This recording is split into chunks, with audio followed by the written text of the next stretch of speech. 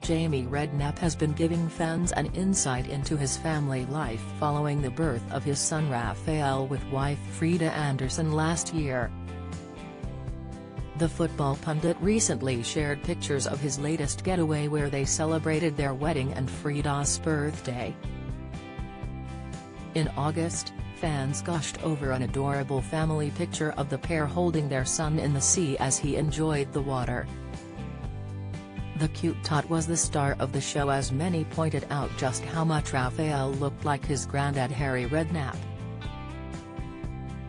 Mars Sock wrote, Omg has the image of Harry. Spoucher 20112018 added, so cute. He's a mini Harry. Like granddad.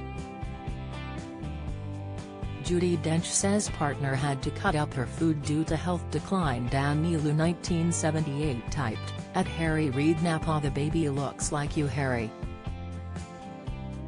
Cheeky side I look. XX. J Rush 81 echoed, bitchy L, that's a mini Harry in that photo. Jamie also dedicated a post to his wife on her birthday. The mother of five was seen balancing on a large pillow in the pool as she stunned in a red bikini. The couple tied the knot at a low-key ceremony in London in October 2021. It is believed they met in 2020 through mutual friends. Jamie was previously married to singer Louise Redknapp for 19 years. They share two children together, Charlie, 18 and Beau, 13. Sharon Stone warns fans as misdiagnosis turns out to be large tumor, update Sean Connery's grand after pays heartbreaking tribute to legend, tribute Brooklyn Beckham's wife Nicola talks having eight kids amid plan to adopt, revealed, in a recent interview, Harry opened up about the Bears' unexpected breakup.